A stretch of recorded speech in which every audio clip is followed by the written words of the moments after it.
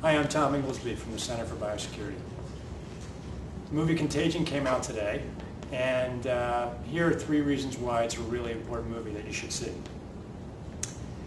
The first is that it provides an unusually good view of what an epidemic in America could do, and in fact around the world. It shows how epidemics start small, perhaps jumping from an animal to a human, and then jumping from a city across a country and a country around the world.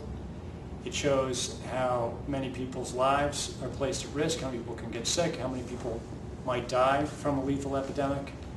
And it shows the turmoil that can follow uh, in the trail of an epidemic, the societal consequences, uh, the problems with who gets vaccine first, the inundation of hospitals sick people.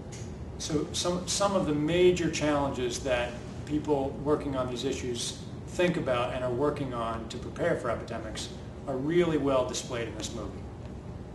The second reason you should see Contagion is that it really does show the heroic side of public health and science dedicated to these issues some of the uh, most important characters, many of the most important characters in this movie are public health officials who literally put their lives at risk to try and slow down this epidemic and stop people from getting infected. A lot of this work is unheralded on a day-to-day basis. People are working on these issues day in, day out in your city and around the country, but they often don't get a lot of credit and they don't um, get a lot of attention for it. And this movie really does help shine a light on those issues and um, a well-deserved um, moment of reflection about the importance of this work. Which leads me to the third reason why this movie is so important, and that's because the work of epidemic preparedness relies on all of our support. Getting ready for epidemics, preparing for them and responding to them is something for the common good. And so it's supported by our federal and state and local public health agencies and by our scientific institutions. And without our support and without political support, these programs are under constant budget pressure and in fact in recent years have had diminished budgets in many important areas.